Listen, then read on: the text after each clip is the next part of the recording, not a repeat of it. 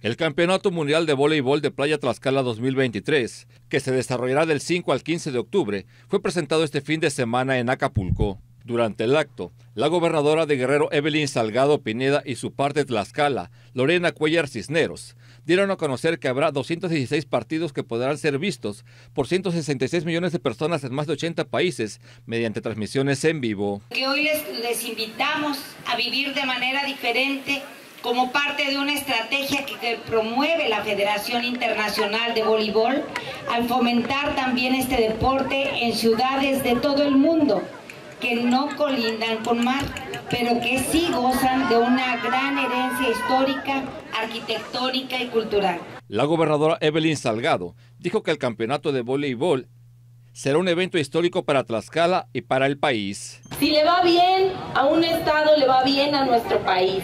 Y eso es lo que queremos, que le vaya bien a México, que nos apoyemos unos estados a otros. ¡Cuatro! ¡Tres! ¡Dos! ¡Una!